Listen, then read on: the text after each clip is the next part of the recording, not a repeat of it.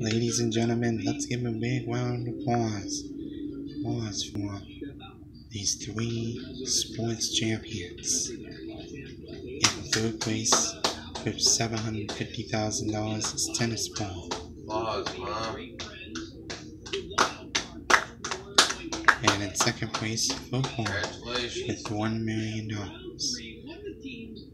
And in first place, Cora is the grand champion. And $2 million. It's time for medal ceremony. Here we go.